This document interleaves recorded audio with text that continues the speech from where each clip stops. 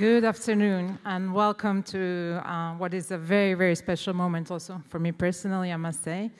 Uh, I'm a long, long uh, time admirer of Marco Bellocchio's work and um, observing, you know, his career and the way how uh, he portrays uh, the political, the religious, the identity of Italy and how he shapes it in incredible narratives in his cinema, but also imbuing it always with something very personal and confronting both political and very complex decades of Italian, not so uh, distant history with his own, also not only personal perspectives, but story. It's a career that spans over 50 years and uh, impossible to summarize, of course, during one conversation that we are going to be having right now.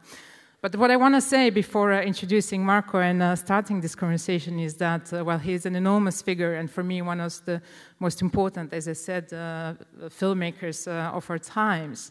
Is that uh, while in Italy or in France, in many, he has enormous recognition. He has received the Palme d'Honneur, right, a few years ago in Cannes, and also in Venice, a Lifetime Achievement Award. But uh, here in Rotterdam, I don't think, Marco, we have done you much justice. In the early 70s, we have screened just a few films, and then there has been a long break uh, with a small, one short screening in the 90s of a short, and then uh, fast forward to last year when we finally had uh, a magnificent Esterna Notte here in Rotterdam, and this year with Rapito that uh, has premiered here yesterday and also has a distribution here, which is really a fantastic thing. So there is a lot uh, of catching up to do, and I'm really happy that we have an opportunity also to be today here with Marco and discuss his, his career, his approach to cinema. So please give an enormous applause to il grande maestro Marco Bellocchio.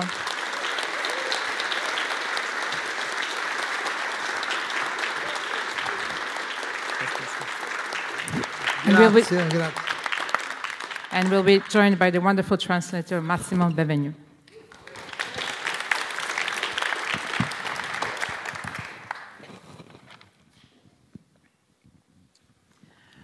So, as uh, you started your career, Marco, uh, already uh, as a 26 year old, uh, first uh, as a director, but first, of course, you have tried your career, artistic career, first in painting and then in acting, and then realized that transitioning towards cinema when you went to study in Rome, uh, cinema was a direction you're going to take.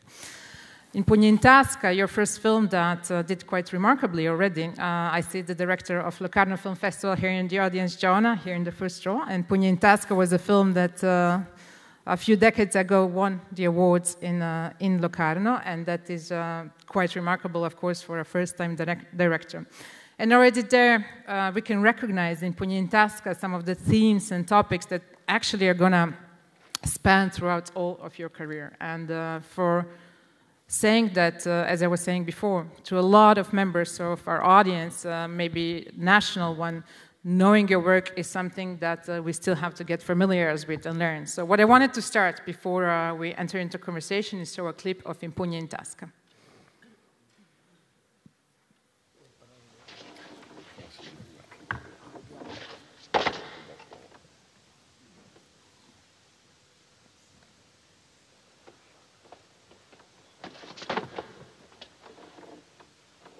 Ma sei matto?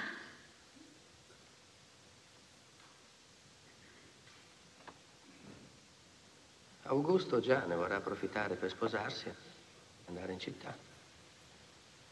Mi spiace per lui, ma dovrà restarsene a casa. Ale, ti pregherei. Cerca di rimanere coi piedi per terra. È lui che comanda qui. Esatto. Eppure è vero che non ne ho più soggezione.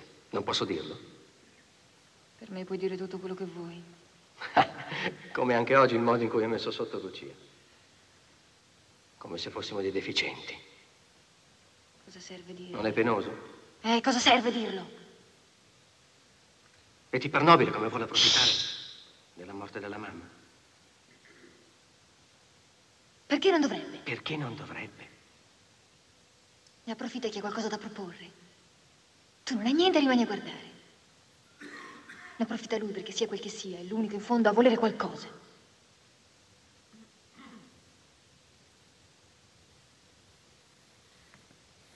Parliamoci chiaro. E parliamoci chiaro. Scherza, scherza pure. Credi che la mamma sia morta per disgrazia?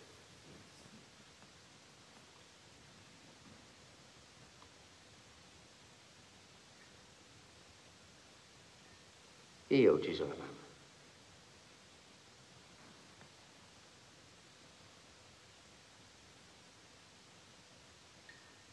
Con queste mani, con tutta la mia paura.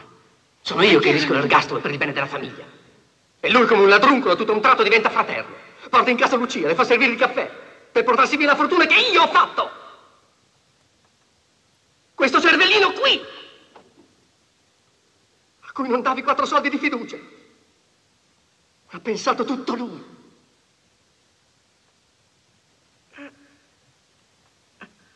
La testa. La testa. Aspetta, Testa. Giulia. Tienimi la testa. aspetta che vengo. Calmati, calmati. Sento che ci sentono. Stai buono, buono, buono, buono.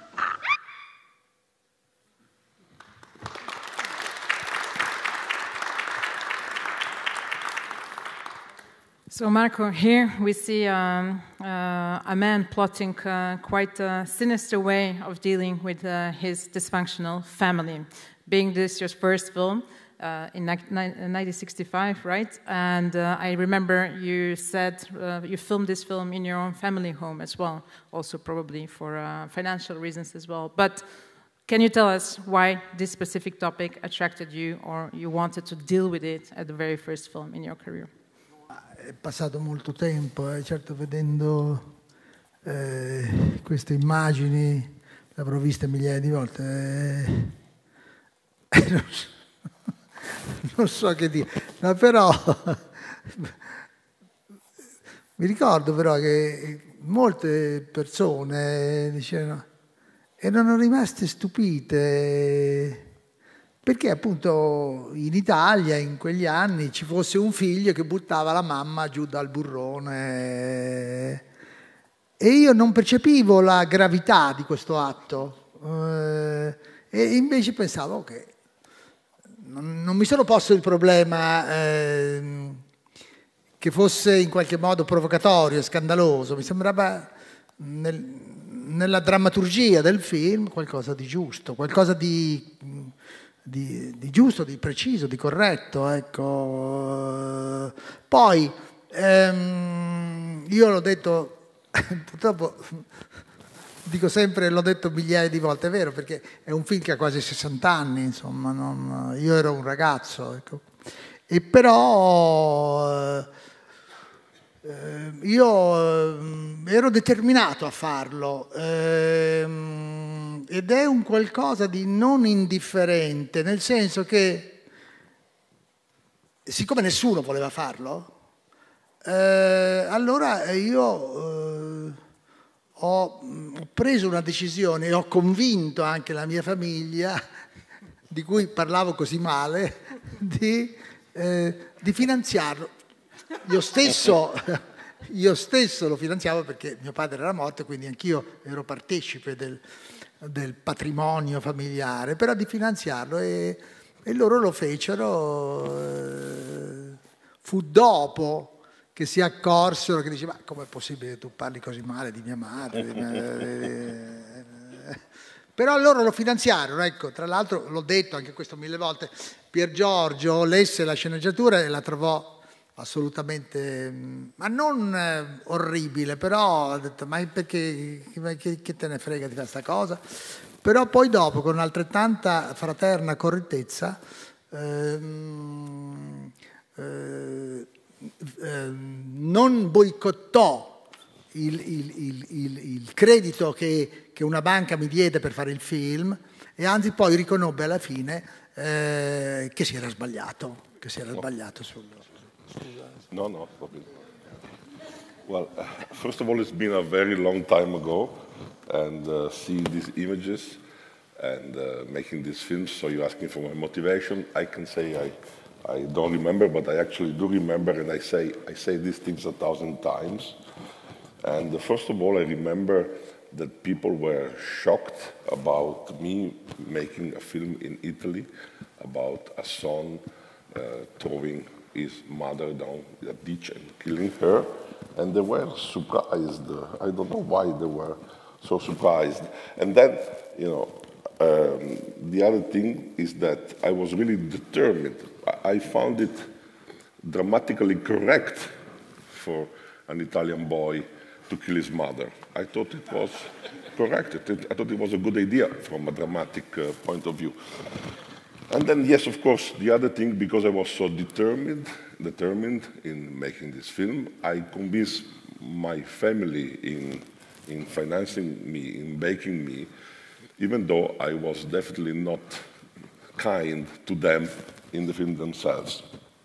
And uh, they, it's strange, they only realized it afterwards that I made such a film uh, against, against a family. And uh, my brother, Pier Giorgio, right, read, read, it, uh, read, it, read the screenplay and, uh, he, and found it horrible. But nevertheless, he decided uh, not to boycott the funding that, uh, that was coming through. But again, I've said these things a thousand times. Well, maybe not here.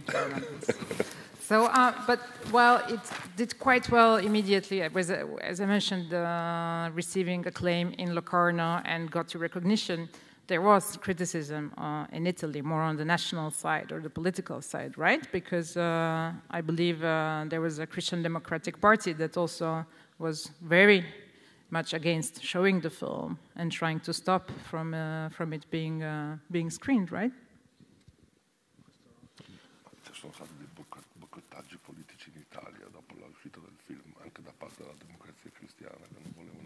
Sì, però ma piuttosto blandi. Sì, fu, fu uh, qualche... Allora c'era, uh, c'era questo meccanismo che eh, chiunque privato cittadino vedendo il film, sentendosene offeso, lo denunciasse alla magistratura per farlo sequestrare. Allora c'era quell'altro espediente, fatta la legge, trovato l'inganno, di presentarlo in una città in cui il giudice era democratico e allora respingeva questa denuncia. Eh, e quindi il film passò senza essere eh, sequestrato. Uh, yes, there, there, was some bland boycotting. At the time in Italy there was a law where a private citizen could request for a film to be withdrawn from circulation, uh, but you could also twist this law by having the film shown in a, in a, different city where there was a judge that was more democratic, and then he would say, no, I approve for this film being, being circulating, so that was the way to get it shown. So yes, there was some, some private citizens that tried to stop the film. Il trucco era di proiettare il film per la prima volta in una città, per cui era la prima proiezione che valeva e noi appunto lo presentammo il giorno prima un, penso a Reggio Emilia dove sapevamo esserci un giudice molto democratico il quale rifiutò e respinse la denuncia. So the trick was to present the film, as we said, for the, the first screening, the preview screening in a city with a democratic judge. We did it in Reggio Emilia and that gave us permission to release the film in Italy. Quindi non c'è stato un boicottaggio. Sì, è chiaro, la democrazia cristiana si arrabbiò moltissimo, eh, però non, non è... solamente con yeah. questo film. Sì. Yeah. The, the, the, Christian Democratic Party got very angry, but we cannot say the film was boycotted.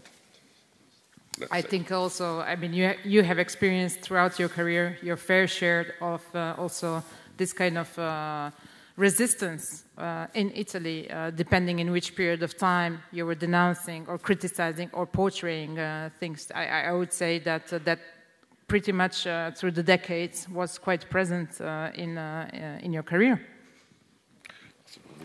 Sto rincoglionendo, non capisco niente. No, c'è problema, sono qui. Anche io posso cercare di chiedere. No, io un po' l'inglese lo conosco, però... Cioè, però comunque durante, durante, le decadi ci sono stati comunque problemi. Ah sì, sì, beh, il, il caso più clamoroso è stato il film eh, beh, L'ultimo tango, eh, che proprio la magistratura si accanì e vollero addirittura bruciare il negativo, cose assurde, insomma. Poi ci furono delle eh, si, questo fu impedito, non so con quale ehm, diciamo, ragione giuridica, insomma, però era stato decretato proprio la, la, eh, che l'ultimo tango, proprio il negativo originale, venisse bruciato. Cose assurde, ecco. Yes, uh, of course, the, the biggest case at the time in Italy was the case of Last Tango in Paris, where it was even request for the negative film to be burned. And uh, so it was kind of absurd in a way, the kind of control that politics wanted to put on cinema. But yes, and of course, throughout the decades, yes, I had some small problems, but not as big as this one. And uh, there is one interesting moment that happened uh, also uh, as you were going throughout your career and uh, you know discovering yourself, learning and developing yourself both as a as a person, but as a filmmaker, and going through different uh, stages also in your personal um, relationship to the politics itself.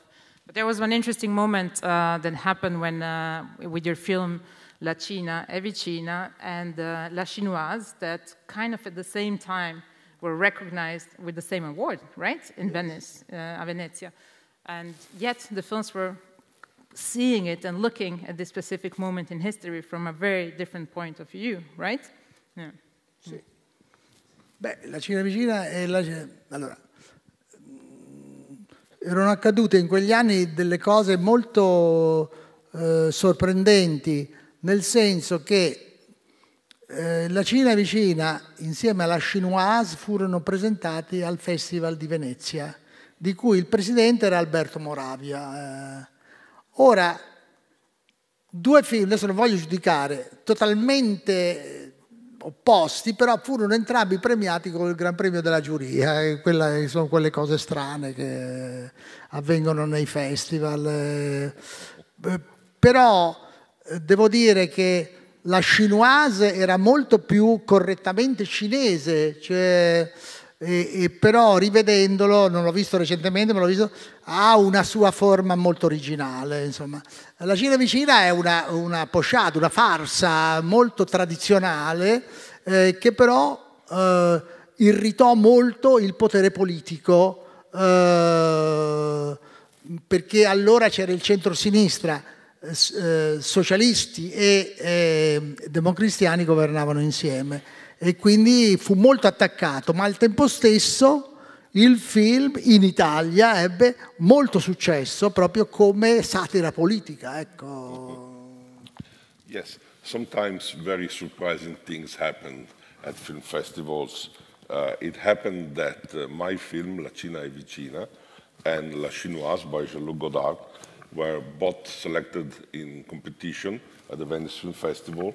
Uh, at the time, the president of the jury of the festival was Alberto Moravia, and the jury decided to award ex aequo to both films, my film and the Godard film, the Grand Prix of the Grand Prix of jury. And uh, it's strange because these films were completely different. Because the Jean-Luc Godard film, Le Chinoise, was, had, of course, a very original form, um, but it was also quite close to the Chinese uh, government in a way, to the presentation of the Chinese state at the time. I've seen it recently, and I have to say that it was a very original film, while uh, La Cina e Vicina was more of a pochade, of a satire against, against uh, the political regime. And it also became quite successful uh, in Italy because it was a political satire. And uh, at the time, uh, the Italian government was on the more on the center left, and my film was, was seen as a satire. So there were two different films about the same topic, but they got awarded the same award. So as I said, very strange things. No, volevo aggiungere, posso, posso che, il pres- eh, che vinse quell'anno Buñuel con Bella di giorno. Eh, no, lo dico per un fatto, perché eh, il grande, il, il, genio, il surrealista eh, ehm, Buñuel aveva anche un, un suo certo moralismo conservatore e mi hanno riferito, poi lo hanno scritto, che eh, sulla pugno in tasca fu molto critico e disse non è possibile che un ragazzo faccia le capriole sul, sul corpo, della, sul cadavere della madre. Insomma, ne fu sdegnato, ne fu come... Allora eh, aggiunse anche, ma poteva al limite togliersi il pantalone e fare la cacca. Sul, eh, no, per, dire, per dire il grande rivoluzionario, il grande, il grande però aveva un atteggiamento di, verso un giovane sfrontato, mm-hmm. un atteggiamento di, di, di disapprovazione. Ecco. Yeah. I, would, I would like to add that in that year, I think 1967, uh, the, the Golden Lion winner was Belle de Jour by Louis Buñuel. And, uh, and I would like to remind that uh, Louis Buñuel, even if he's perceived as a great surrealist.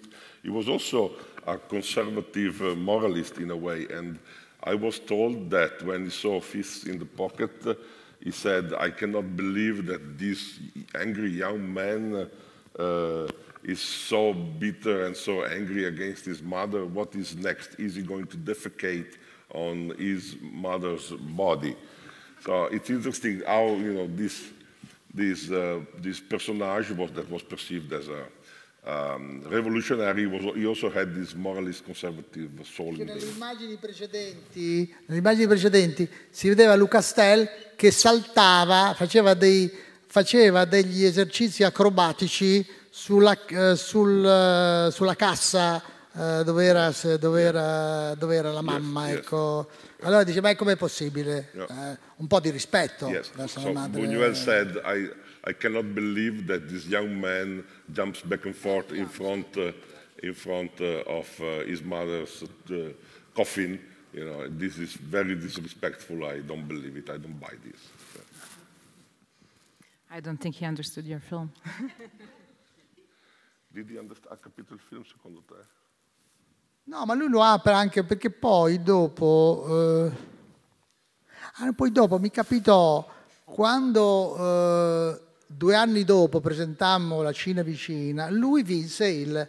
Allora lui si avvicinò, eh, molto gentile, molto, era contento perché gli davano... Eh, però gli ho detto, eh, gli ho detto guardi, io, la, io, la, io la, la stimo, la apprezzo molto, però non sono d'accordo su certe cose che lei ha fatto nei pugni in tasca, me lo disse proprio, ma non, non fu così esplicito, eh, eh, nel senso, nella, nella, no, diceva, però io ho una grande stima di lei, però non, non, non approvo certe cose che lei ha fatto. Uh, when we met in Venice in 1967, when he won the Golden Lion and I won the Grand Prix, the Grand Prix of Jury, uh, he approached me. He was very happy. Of course, he had just won the main award at the festival. And he said to me, Bellocchio, I admire you, but I don't approve of everything you do.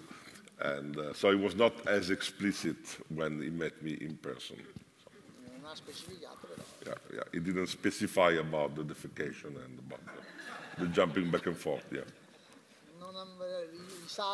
No, no, no, no jumps, no. no gymnastics. Dettaglio. A detail, yeah. Um, that period uh, after La Cina uh, Vicina and, uh, you know, your personal involvement in Italian politics of the time brought you in a period that uh, I think is quite interesting also in your cinema, but also with finding yourself personally. And uh, I'm not sure how to, uh, part of our Dutch audience here, that it's a known part, but uh, psychoanalysis also in that uh, period became very important to you personally. Yeah, see. Uh, and uh, that reflected in uh, it's a big topic we are not going to spend the whole conversation on it but i do think it's uh, an interesting way to see the transformation on oneself but also the one as a filmmaker and uh, specifically with uh, Massimo Fagioli, with whom you became actually really close, uh, who had a very special approach to psychoanalysis, uh, it influenced your work to the degree as well that uh, he was part on set. He was also, uh, there was the one film that he wrote as well that you filmed. So if you can just, you know, talk us through this part of experience in your career. Beh, sì, lo so, è di...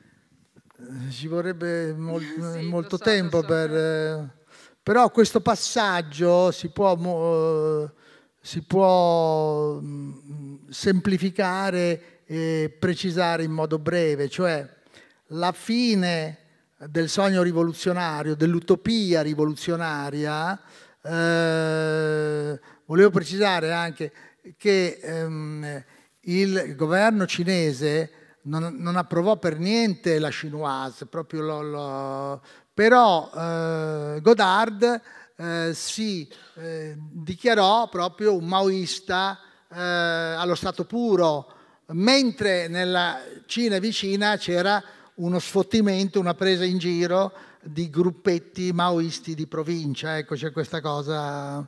Però finita mh, l'utopia eh, rivoluzionaria, eh, diciamo, per me in, sotto una forma di utopia religiosa rivoluzionaria, cioè un'adesione breve al maoismo, è chiaro che ognuno di noi, io dovevo fare i conti con me stesso e con, eh, e con chi fossi, con che... e quindi era naturale per me e per forse milioni di altre persone di guardare dentro me stesso. Eh, la forma di relazione più classica eh, fu la psicoanalisi, cioè eh, appunto parlavo con un amico eh, mezz'ora fa eh, che, che, mi raccontava un sogno, eh, però è l'interpretazione dei sogni. Cioè, lo, lo, lo, terapeuta,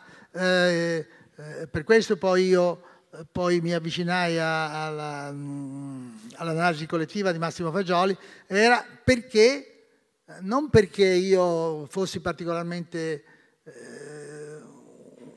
un povero di spirito, ma perché eh, senti, mi venivano date delle risposte ai sogni che raccontavo che mi sembravano molto interessanti. Ecco.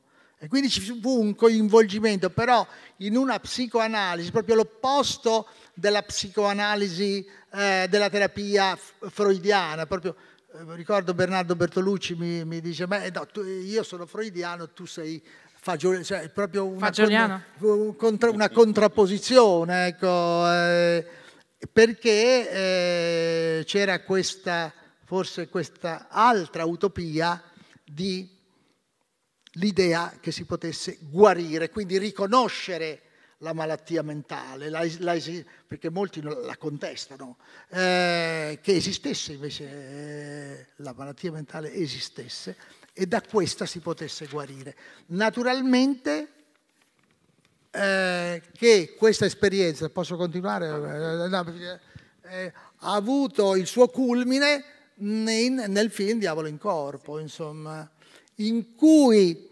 si è saltata ogni correttezza terapeutica e l'analista, lo psichiatra è venuto sul set e ha collaborato con me alla, uh, alla, alle riprese del film stesso. Ecco. Che questo fu, fu, nel piccolo mondo cinematografico eh, italiano, perché fu considerato non soltanto uno scandalo, ma anche la, ehm, la dimostrazione del mio totale rincoglionimento.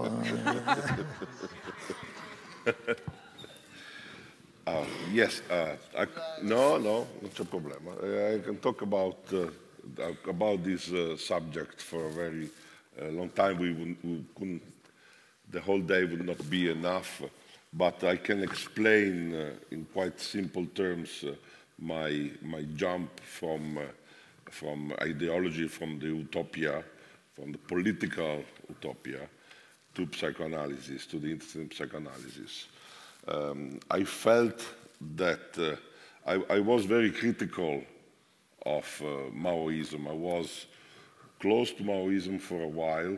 I also want to um, point out we discussed uh, La Chinoise and, uh, and La Cina Vicina.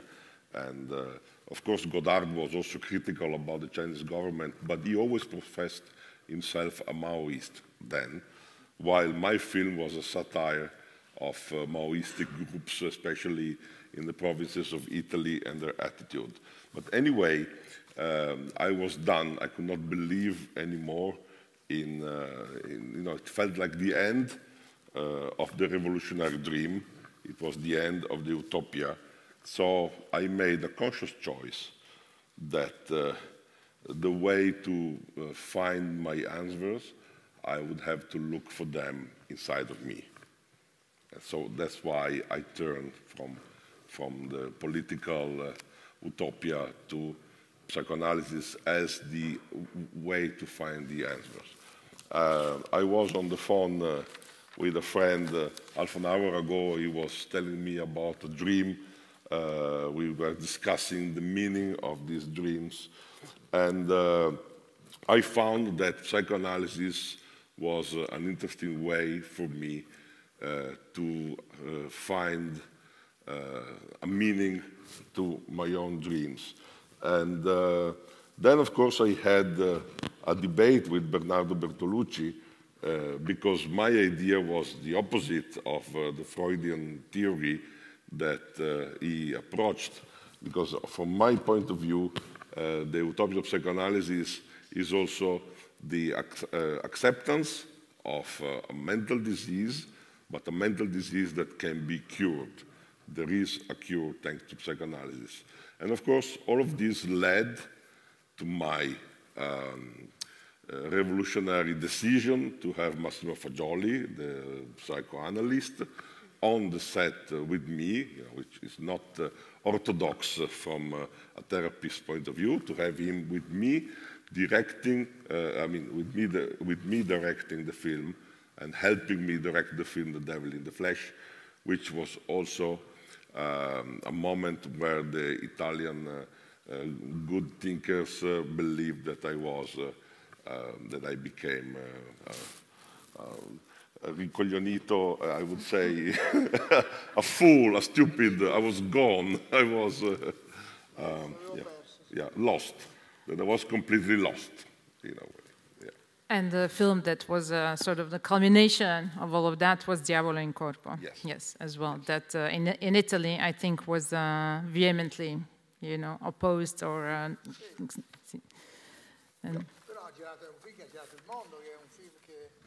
avuto un grande successo in Francia, penso nel mondo. Sì. In Italia con più sospetto, però anche in Italia. Ecco. Però in termini di scandalo, ehm, eh, c'era quella famosa scena che, che, ha fatto la fortuna, ma anche secondo me è stata la dannazione anche, eh, di Marushka Detmar, che era diventata, era diventata un, un, eh, una star, era, era, richiesta da tutti, insomma, però poi mm, non ha avuto fortuna dopo, perché non so. Eh. Yes, the film became a scandal.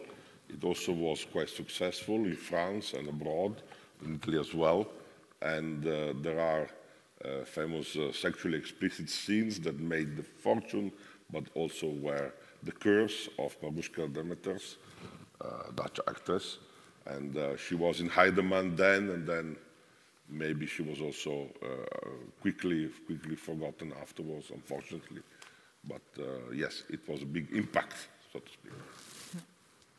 And um, it's, as I said before, we will not have an opportunity to really go across all of your career and to address so many topics that you yourself have uh, covered. But um, before I move uh, on a scene of the next film, which is going to be a scene from Buongiorno Notte, uh, that uh, details, uh, of course, uh, the captivity of Italian Prime Minister, kidnapping, and, and the murder ultimately of Aldo Moro, is is this uh, unique approach to cinema that you have, and uh, it goes uh, can be personal, very much like in Pugni that we have discussed. That uh, fists in a pocket. Maybe I should translate it in English for once. And uh, where indirectly also there are highly political topics in the film and very personal ones. But then we move on to other subjects that uh, maybe the ones that have marked Italian collective memory in such a degree that, uh, of course, everyone has to reconcile with them, understand them better. And Marco always chooses this approach that is, again, very personal. And we will see this in a scene from, uh, from Buongiorno Notte, because we are, we are in, a, in a, an environment that is, of course, reclosed simply because of captivity itself. But the relationship that they are de- developed make them very, very personal. So let's take a, let's take a look at, uh, at Buongiorno Notte clip.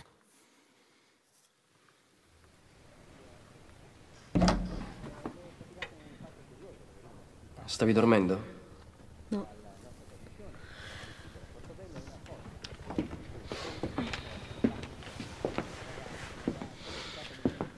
Senti, il presidente ha scritto alla moglie. Dovresti lasciarla domani dopo l'ufficio nella cassetta delle elemosine, nella solita chiesa.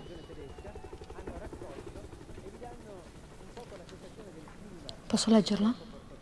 Sì, sì.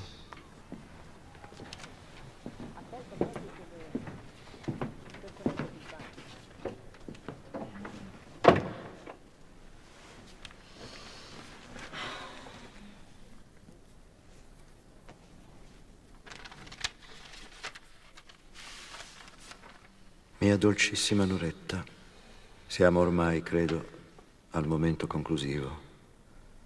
Uniti nel mio ricordo, vivete insieme. Mi parrà di essere tra voi. Per carità, vivete in un'unica casa. Bacia e carezza per me tutti, volto per volto, occhi per occhi. A ciascuno una mia immensa tenerezza che passa per le tue mani. Sii forte mia dolcissima, in questa prova assurda e incomprensibile. Sono le vie del Signore.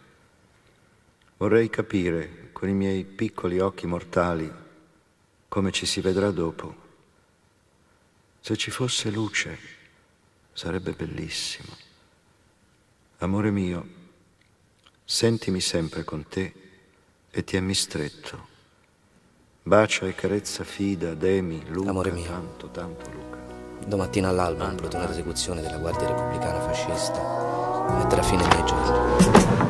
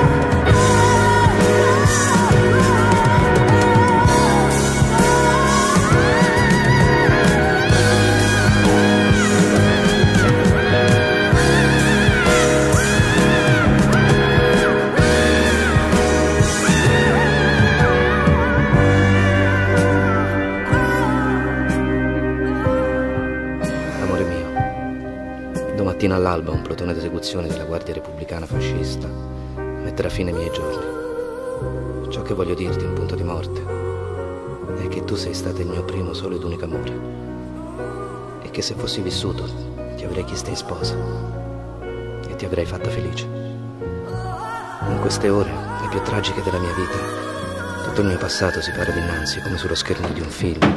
Forse non hai capito.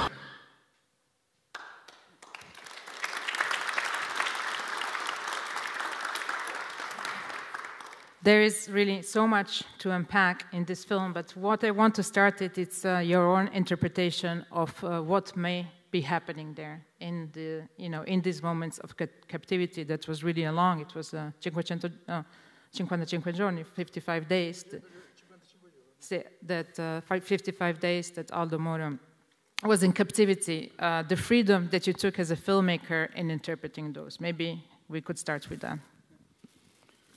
Ma ehm, lì ci tante cose da dire, insomma, questa è una sequenza che combina eh, una, una musica modernissima e straziante e poi il repertorio ehm, dei frammenti di paesà, dei, dei, anche del, ehm, eh, del repertorio eh, sulla, della resistenza e poi anche mh, mm, alcune immagini sono combinate con alcune immagini eh, del film, penso di Zicaverto, sui funerali di Lenin. Qui ci sono alcune immagini tutte insieme proprio per cercare di rappresentare una tragedia che stava avvenendo, in cui eh, è chiaro io poi tutti noi, io, la mia vita è lunga e, e, nel corso della mia vita ci sono stati dei tempi diversi e, del,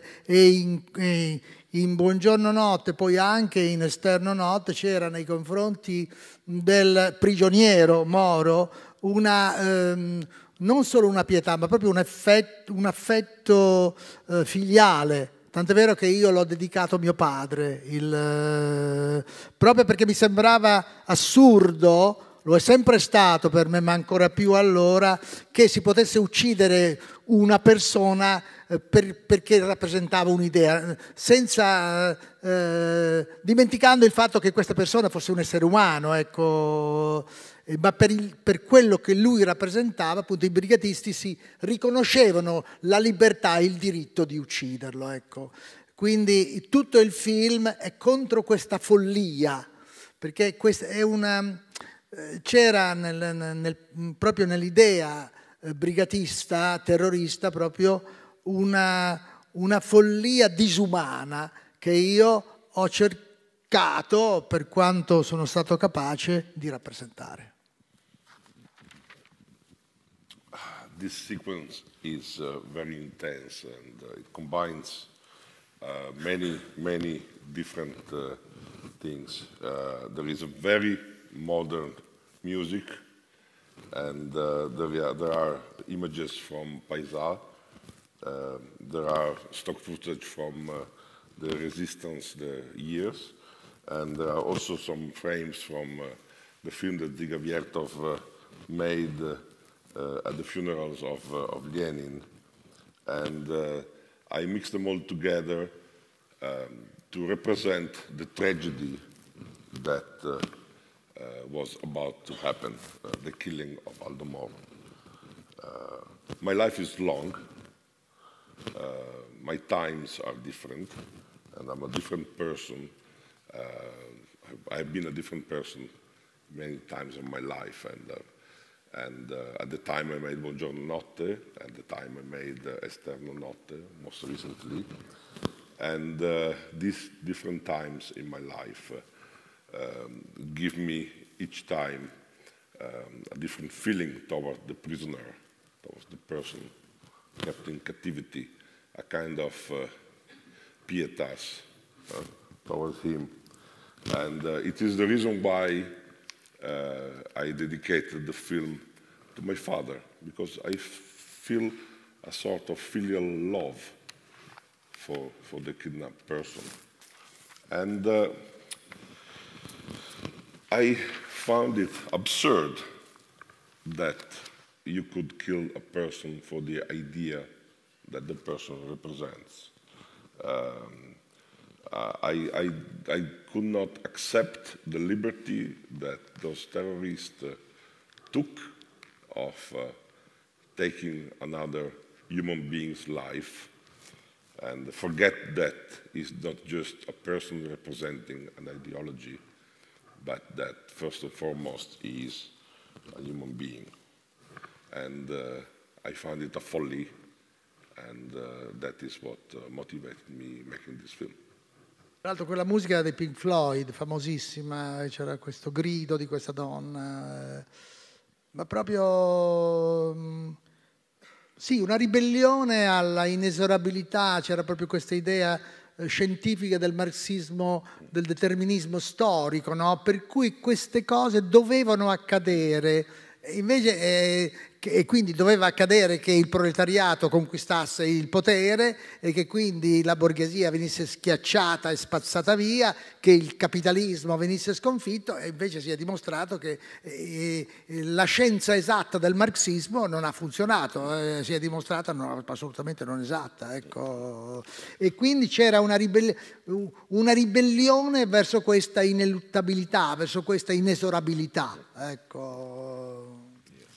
Uh, in particular, the, the, the, soundtrack by Pink Floyd, the music that I used, was a kind of uh, rebellion, of emotional rebellion towards the scientific approach of Marxism that believed firmly that uh, it had to happen, that the proletariat was going to take over, that the bourgeoisie was going to be swept away, and that capitalism was going to collapse. And so they act, they always act uh, with the certainty that it was going to happen. And uh, instead, you know, I wanted to put that emotional moment saying, no, this is, it, it, it's, it's not like it is written in stone. It's not like this is mandatory. It's one of the most turbulent times also in uh, recent Italian, Italian history, and you're coming back to it not only in Buongiorno Notte, but back in a much more complex way in Esterno Notte as well. And, uh, and there is so much to unpack also for Italy as a country itself in that, in that respect, because uh, I do understand, coming from the idea of Le Brigade Rosse and so on, they really, for wanting a better world, they, that, they did exactly the opposite. So uh, the complexity is really uh, tremendous there. Yeah. yeah. Um, so I'm. sì, sì, non era una domanda, una, era assolutamente un'affermazione. Yeah, yeah, no, no, but what, what I wanted to uh, unpa unpack further in your film is also that uh, you're making, if I connect it also to, uh, to Esterna Notte, you are bringing to it your own interpretations of how certain situations uh, may have developed in those moments that actually we may know something about, but not enough. And, uh, and, and it kind of uh, speaks about liberties that you take as a director in interpretation of historical facts and uh, things that may have happened. So uh, I would like for you, for you to talk a little bit about that, about part of uh, freedom that you take in the interpretation of certain moments that are anchored in national you know, memory, especially in Italy.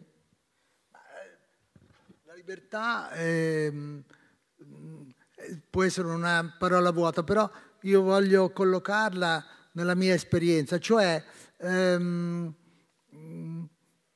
per esempio nei pugni in tasca io non avevo niente da perdere, quindi mi sentivo molto libero. Eh, quando poi so, mh, la politica, eh, ehm, non è che mi, sì, mi sono avvicinato, mi sono fatto coinvolgere dai movimenti politici, eh, è chiaro che eh, mi ricordo ehm, un film in cui in parte collab- col- avevo chiesto la collaborazione anche di mio fratello Pier Giorgio e anche di Grazia Cherchi, insomma che eh, persone politiche eh, eh, vi era spesso eh, la domanda se rispetto a certe immagini e a certe idee eh, fossero giuste o fossero sbagliate. Eh, questo anche nella, nella lunga esperienza all'interno dell'analisi eh, collettiva di Massimo Fagioli, c'era proprio questa idea, ma quello che io scrivo, quello che io immagino eh, è corretto, è ehm, mh, mm, come se ci fosse sempre la prospettiva eh, di una, mh, mm, eh, della salvezza dell'umanità per cui ogni passo doveva essere giusto. Ecco, questo eh, in qualche modo mi ha, eh, um, mi ha eh, condizionato eh, e progressivamente, invecchiando, eh, cerco proprio di eh, difendere una libertà assoluta, cioè la libertà di saper, ehm, di, di dire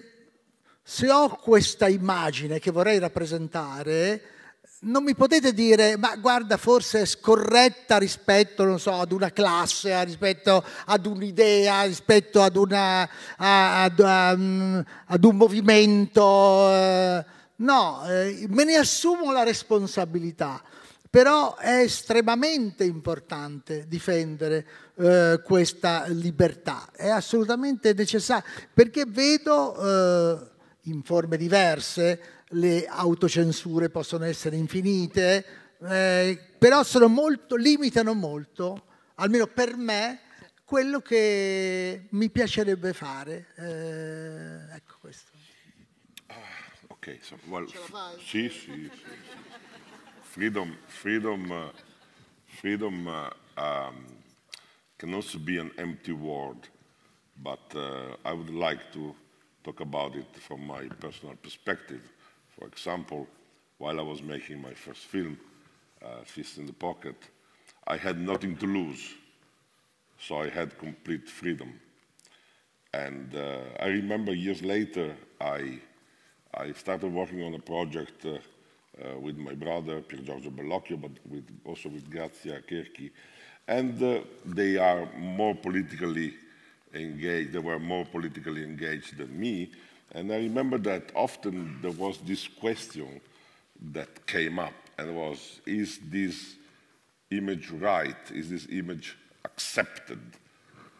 Accepted according to you know, ideology, expectations. And, um, and I found out later on uh, that I liberated myself mainly with age. And I decided that uh, why should I worry about uh, if, if an image is right for somebody else? If I want to use that image, if I want to tell that image, uh, why should I have this ideological burden over my imagination? And uh, so, you know, this is what uh, I decided to, you know, maybe, again, growing old uh, with age, I decided to defend my freedom of uh, expression from, from these ideological attacks that are inside all of us.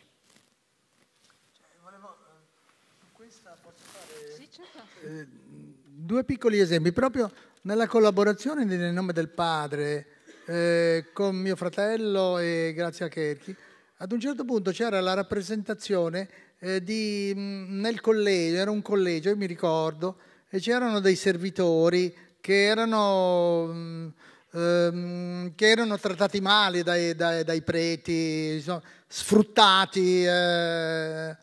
Ora, ehm, ad un certo punto nel film, questi ehm, servitori, tra l'altro uno, il, il, loro capo era Luca Stell, eh, si ribellano in qualche modo e mi ricordo un'obiezione che mi fece eh, Pier Giorgio, che non è mai stato un, uh, un fanatico, però insomma uh, diceva, ma, ma quelli è impossibile che si ribellino perché sono dei sottoproletari, perché c'era l'idea che solo il proletariato potesse ribellarsi e capovolgere la situazione. E là eh, il sottoproletario non eh, era destinato, eh, le rivolte dei sottoproletari erano destinati eh, al, al, fallimento. Ecco, eh, questa obiezione mi colpì, poi io andai per la mia strada lo stesso, però ehm, ecco, questo come anche eh, mi ricordo per i pugni in tasca, eh, fu presentato, fu portato a Mosca per il Festival di Mosca, ma i burocrati sovietici lo videro in privato, ma proibirono di mostrarlo in pubblico eh, perché dicevano patologischi, patologischi, patologischi. È un caso patologico e quindi non conta nulla. Ecco. E solo Calvino, Italo Calvino, mi pare su Rinascita, perché anche il Partito Comunista si muoveva con estrema prudenza verso... Dice no, ma ragazzi, qui questo è un film... Eh, per cui il Partito Comunista se ne deve occupare, di cui si deve occupare il Partito Comunista. Sarebbe troppo ipocrita eh, tacere o chiudere gli occhi di fronte a questo, ecco. per dirti come l'ideologia fosse penetrante. Allora. I, would like to give two examples about how ideology penetrated freedom and freedom of expression, both in the making and after the making of a film. In the, in the project I mentioned before, where I work with my brother Pier Giorgio Bellocchio and with Grazia Chierchi Nel Nome del Padre, there is, uh, there is a college uh, with, uh, run by priests and there are servants. These servants are not uh, treated properly. And uh, by the way, the head of these servants is played by Luc Castel, the lead actor of uh, Fist in the Pocket. And at a certain moment, these servants rebel against, against their boss. And, and my brother Pier Giorgio, who is mm, never been uh, a, a, Taliban, so to speak, never been, a, but he's been ideological enough. He never been a fanatic. But he said, you know, I disagree with this idea about the servants uh, rebelling because these servants represented in the film are from the sub-proletariat and they're not the proletariat because the proletariat can rebel. But the sub-proletariat is never going to rebel because they know that if they rebel, they are going to fail. And then, so that moment, I decided I'm going to go my way, and I'm going to do whatever I want. the other example is uh, when Fist in the Pocket was selected by the Moscow Film Festival. Uh, the film uh, was shown to the Soviet bureaucrats, but it was decided not to show it in public because it was the uh, example of a pathological case that had not to be dealt with uh, in the communist ideology. Also, in Italy, the, the, Communist Party of Italy didn't want uh, to deal with the film, uh, but it was Italo Calvino uh, in an article in Rinascita that said, no, this, is, this film should also be dealt by the, the PC, the, the, the Communist Party of Italy. So you see how sometimes ideology stops, stops uh, the circulation of uh, ideas. Yeah. It's sometimes too instructive as well, what you were showing in your films. So I understand the reason why not to show them to, uh, to people.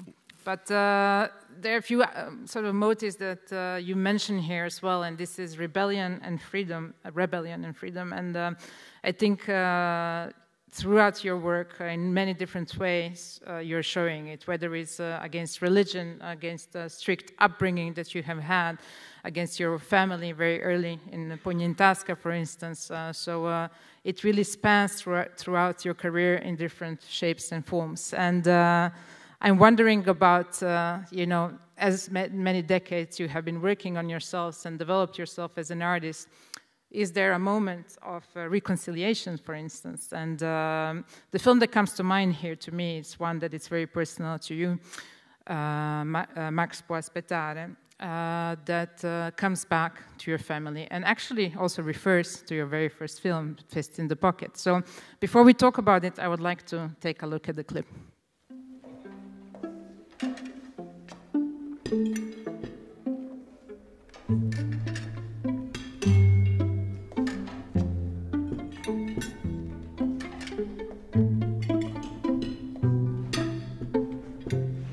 16 dicembre 2016 Letizia, Pier Giorgio, Maria Luisa, Alberto ed io Marco, le sorelle e i fratelli Bellocchio superstiti, ci riunimmo con mogli, figli e nipoti al Circolo dell'Unione a Piacenza per festeggiare vari compleanni. Io avevo organizzato il pranzo con l'idea di fare un film sulla mia famiglia, ma non avevo ancora le idee chiare. Non sapevo cosa volevo fare esattamente. C'era comunque la preoccupazione, data la tarda età di tutti noi fratelli, che potesse essere l'ultima occasione di stare insieme da vivi. Ma in realtà lo scopo era un altro.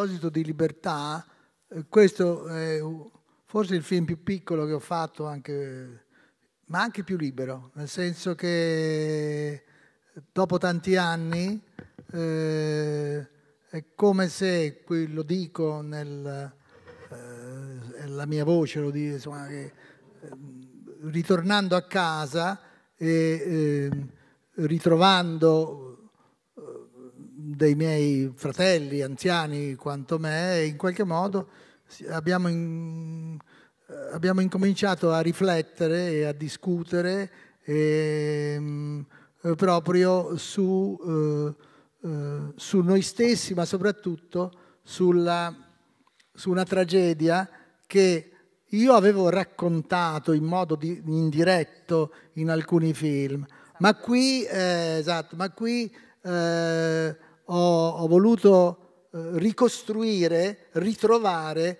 in, nel modo più profondo e più, e più esplicito, ecco, in cui eh, c'era, come dici tu, una, anche una, uno spirito di riconciliazione, assolutamente, senza voler eh, dare delle colpe a nessuno di questa tragedia, cioè del suicidio di mio fratello gemello, ma eh, nel, nel, cercare di riconoscere anche una nostra incapacità, eh, che penso sia molto diffusa, quasi universale, cioè di capire l'altro, cioè di mm, quando hai di fronte una persona, la persona più cara, una delle persone più care, e che non capisci che questa persona soffre, non capisci che questa persona è totalmente invasa da un'angoscia insopportabile, non capisci che questa persona potrebbe anche compiere un'azione eh, che è irreparabile. Ecco,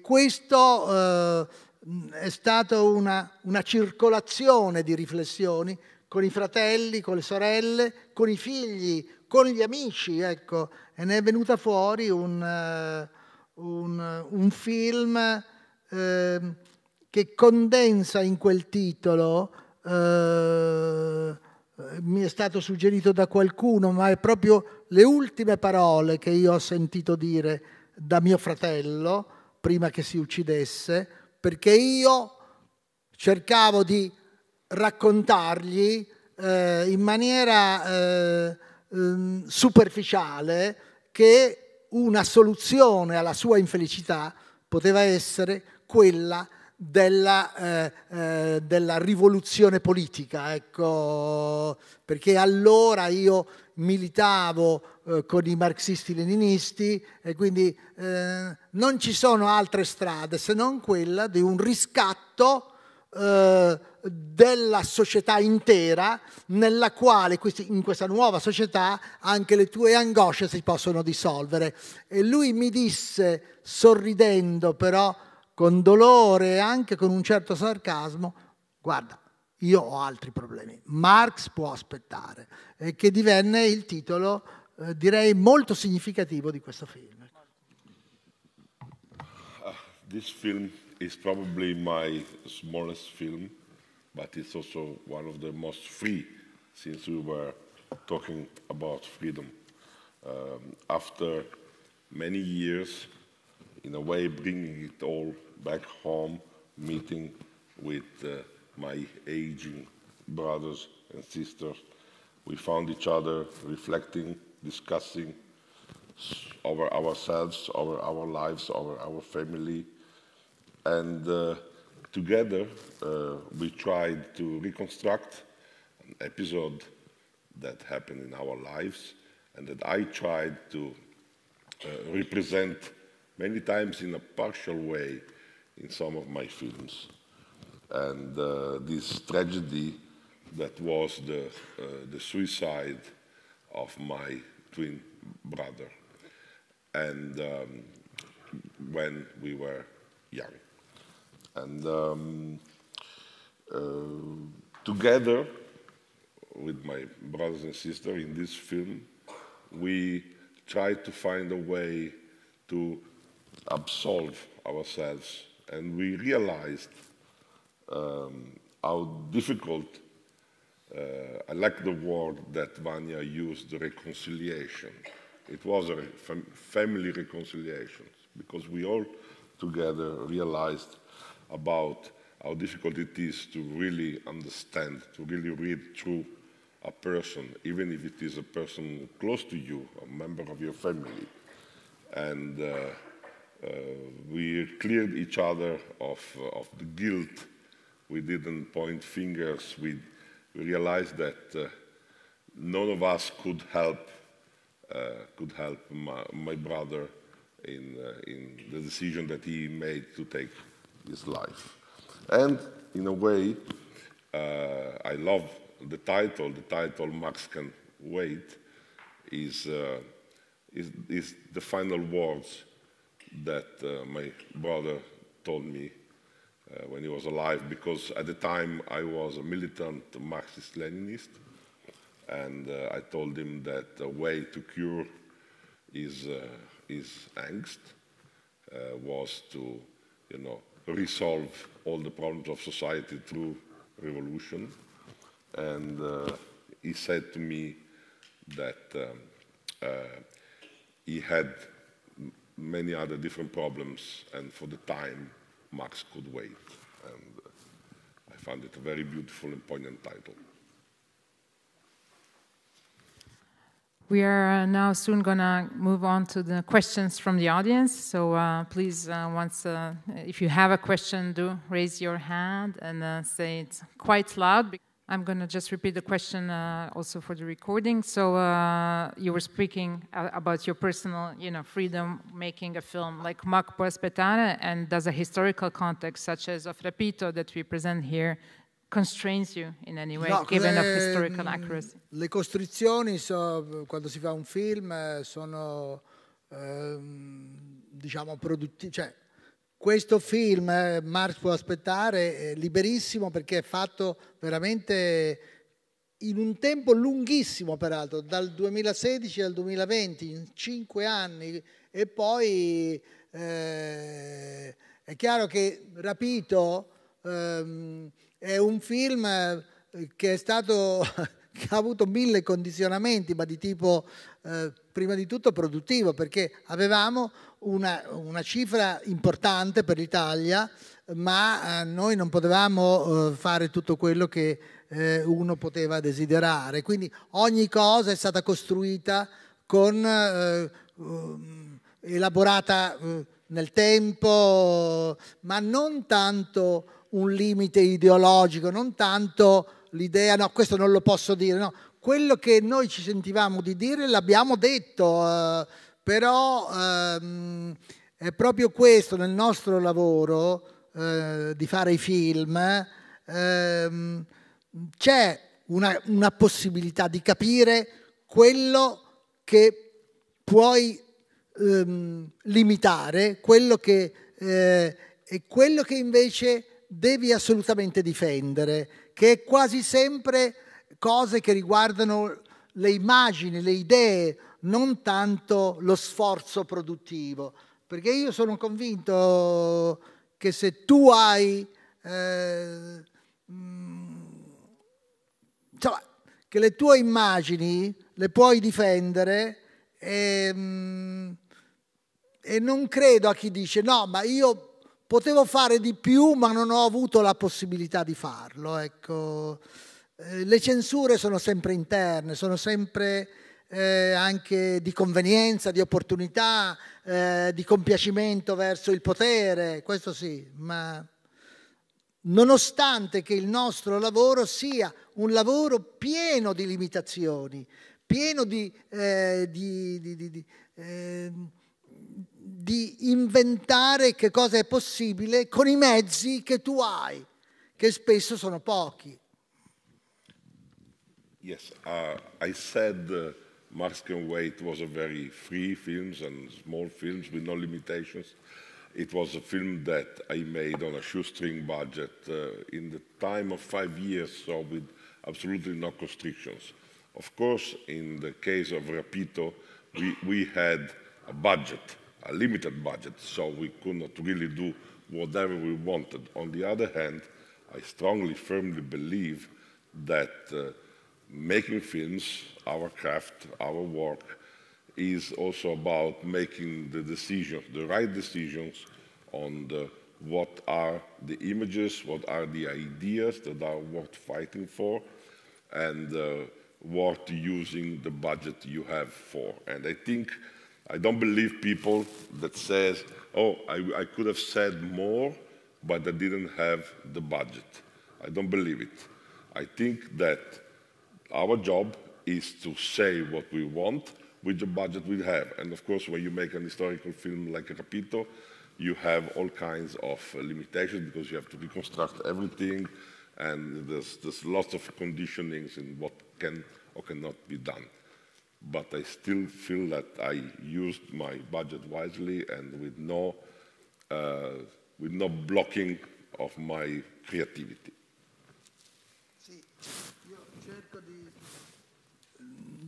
Per me è un principio, eh, se accetto un budget, di rispettarlo. Eh, perché, ripeto, eh, i condizionamenti sono altri. Eh, anche per una lealtà, eh, questo che sto dicendo ovviamente eh, nel 68 era una bestemmia perché il produttore era un delinquente, il produttore era uno sfruttatore, era, un, eh, era, era qualcuno anzi che bisognava rovinare. No, lo dico per... Eh, però io lo dico così come una battuta, non era così, però ehm, io rispetto il denaro, un po' perché anch'io sono coinvolto nella produzione, in qualche modo i film che noi facciamo eh, sono eh, in parte anche coprodotti, però se so, ho questo principio, eh, forse un po' antico, se io eh, accetto un budget lo devo rispettare, ecco. lo voglio rispettare. I have this old style uh, principle that if I accept a budget, uh, I respect it and I play within it. Uh, in a way, I can even use the word I am loyal uh, to the agreement I make with the producer. Of course, if I would be saying this in Italy in the 60s, uh, it would have sounded like a complete blasphemy. But uh, now I feel I am loyal and I am respectful of the money I'm given. I'm also partially a producer of my own pictures, so I, uh, I am involved in the production and uh, I stay within the limitations of the budget. I found it uh, a good uh, working pact. Qui lo dico anche perché c'è qui il mio produttore Who is listening very carefully. I say it also because my producer is here and so. So I'm, I'm going to first translate the question. So for the rest of the audience, uh, so it's a question of uh, curation of the music in the film. You mentioned, I think, uh, the very first film when Ennio Morricone was doing uh, the music, but also in Buongiorno Notte, where there is a Pink Floyd song, but also in many other, like Vincere feels like an opera, for instance. I'm adding to your question. Or uh, Sangue del mio sangue, where we have a cappella rendition of uh, a Metallica song, which is brilliant, and so on. So go Ma eh, sì, sì, eh, il, lei, l'Enrico IV è stata un'eccezione perché Astor Piazzolla è un grande musicista e, e ha accettato eh, di fare le musiche, secondo me ha fatto un lavoro splendido. Però ehm, ci sono dei grandi autori, beh, pensiamo a Fellini, se pensiamo che eh, sempre fedeli, Nino Rota è un genio, anche lui, eh, non è che... però ho cambiato Morricone, Piovani, eh, Crivelli e adesso questo giovane Fabio Massimo eh, Capogrosso. Eh, ma dipende molto anche, è molto importante, eh, mm, per me la, la, musica è molto importante, insomma, quindi eh, è il contatto con Ennio Morricone, perché io scelsi Piovani che era un ragazzo che non... perché Ennio Morricone secondo me stava già facendo troppe cose e quindi non mi avrebbe dato quell'attenzione che io, ehm, di cui avevo bisogno, forse per una mia insicurezza, forse per... Eh, e quindi sono cambiate, e poi come in tutti i rapporti umani, eh, c'è poi, come anche nei rapporti sentimentali, perché le persone si separano? Eh, no, se no sarebbero in, tutti insieme tutta la vita, insomma, no? Perché nasce una stanchezza, nasce la necessità eh, di cambiare, di, eh, è una cosa molto umana, ecco. Però devo dire che eh, tutti quelli che, lei, che, le ho citato sono dei grandi artisti, ecco, tutti. In modo diverso, in modo molto diverso. Well, so there are filmmakers like uh, Federico Fellini who use the same composer for his whole career. And of course, Nino Rota was a genius. And uh, I decided to do the complete opposite and always change composers. Uh, I went from Morricone to Piovani uh, to more recent, more young composers. Um, I need the, the contact. I also sometimes feel insecure and uh, I always want the composer to be near me. For example, I switched from Morricone to Piovani because I felt that uh, Morricone was already busy doing too many soundtracks at the same time, so I wanted uh, the full attention of the composer to work on my ideas. And uh, I, I, think that uh, it is also wise to, it, it's a bit like human relationships or sentimental relationships. why do people separate? I mean, you don't need to stay with the same person your whole life. Yes, there are many divorces, there are many separations, there are different people getting together. There is boredom, there is the discovery of somebody new. And that is to say that I had a great time with all the great composers that I used uh, in my career, not complex, but I like to change.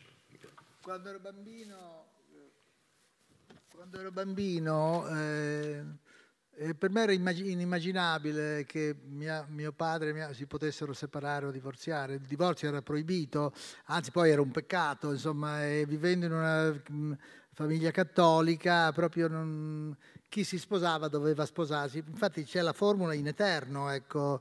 Poi le cose sono molto cambiate. When I was a child, I thought that it was impossible for my mother and my father to separate. Uh, divorce was uh, uh, was not legal in Italy at the time, but most of all, it was a sin. And so you could not uh, make it in a, in a proper Catholic family. But then, and there was this formula in eternum that is, you know, you would marry for eternity, you know, but luckily things have changed. Per tutta la vita, cioè, si sposano in chiesa, no? Per tutta la vita. Yeah, yes, yes. When you marry in church, it's for life.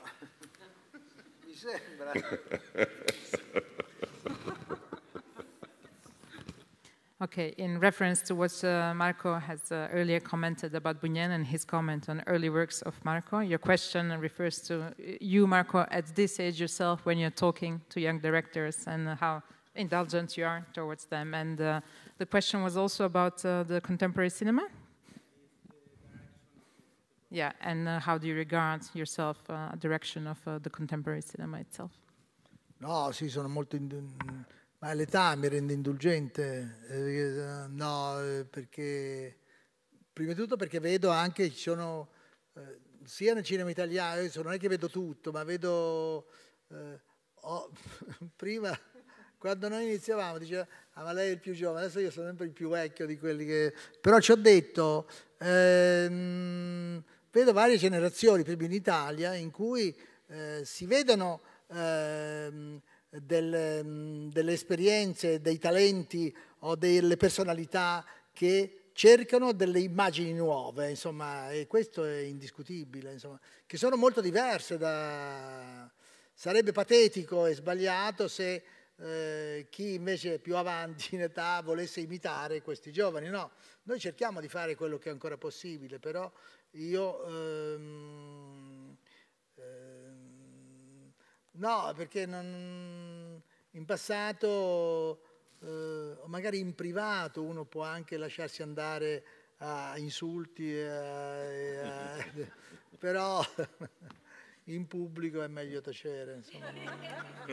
No, però i giovani veramente sono una realtà, non è che perché c'è qualcuno che dice dopo di noi basta, è finito tutto. No, il cinema certo non è più eh, quel, quel quella macchina, appunto facemmo eh, la macchina cinema, no? qualcosa di eh, macchi- meccanico, macchinoso. Eh, eh, se tu pensi appunto alle moviole, non so se ne hai vista qualcuna delle vecchie moviole, erano tutte...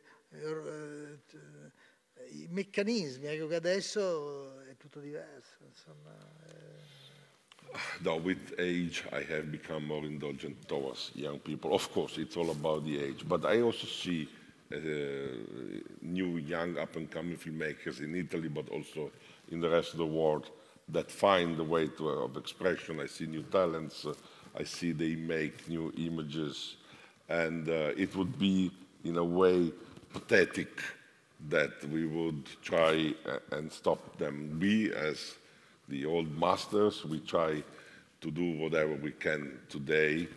And uh, I see some of the masters, they say, when we die, cinema is over. but I don't believe that. I believe that the new generation of filmmakers will carry on. We were part of the cinema machine. Cinema was also this very intricate industrial business. You know, if you ever take a look at all the uh, Steamback uh, editing table and how mechanical and different it was. We were part of this like cinema factory. Now cinema is freer, more open, and uh, I like to support young filmmakers. Sometimes in private I might be slightly critical, but in public I'm definitely supportive. No, semmai, semmai eh, appunto ne parlavamo con degli amici alcune volte su dei, eh, su dei giovani.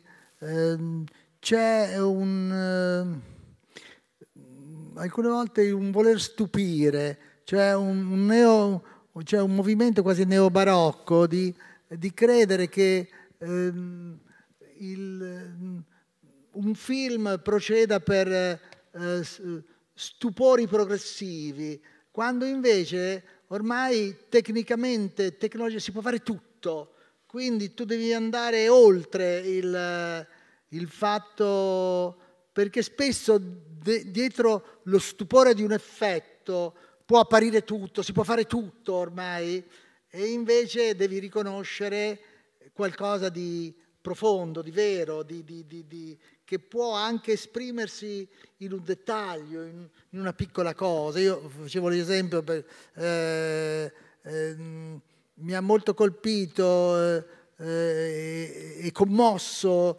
eh, il, l'ultimo film di Kaurismaki, è fatto con un piccolo budget, però c'è qualcosa di vero, qualcosa di profondo, qualcosa di commovente, ecco. E quindi il suggerimento, semmai, a un giovane di andare in quella direzione, lo stupore è perdente. And I would like to add to this that say I see uh, lots of uh, films by young filmmakers that try to shock the audience. And a film goes one shock after the other. But I have to say that these days, with technology, you can achieve, uh, you can achieve anything. And uh, so, in a way, I would say do not go for shocking the audience, but try to go somewhere simpler but also deep, profound, and personal.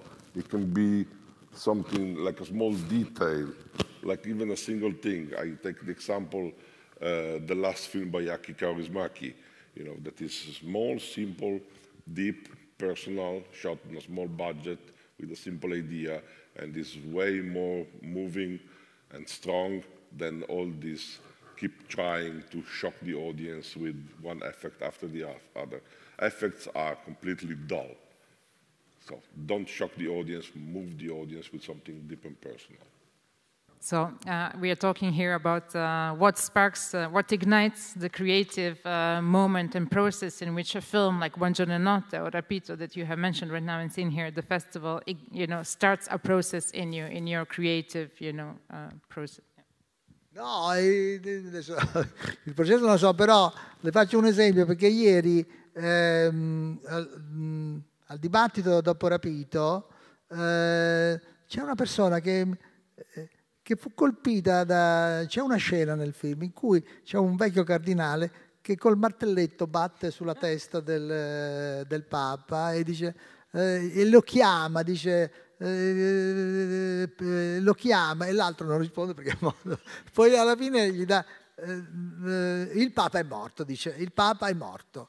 Ora, queste eh, sembrano una sciocchezza. Ecco, questo particolare però condensa proprio tutto un grande rituale eh, millenario, non so come dire, que- è lì la forza del dettaglio, eh, che poi, oppure piccole cose, appunto mi viene in mente, sì, buongiorno notte, eh, eh, la passeggiata finale de, di Moro eh, e molti mi dissero quella come quasi buttare via tutto il film, ma come se restasse solo quella. ma per dire però, eh, quella è una passeggiata fatta in, in un'ora.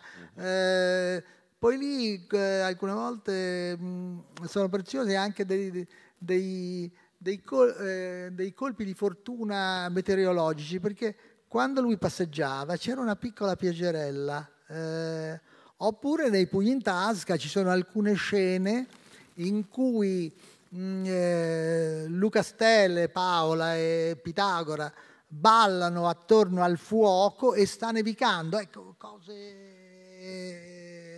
Però i dettagli ehm, hanno una forza, eh, eh, mi pare in un film di Tarkovsky, c'è un, una panoramica che va su, su, due fratelli, uno che gli, sta, gli pesta un, un piede nel, nel, nel, Rubliov, mi pare.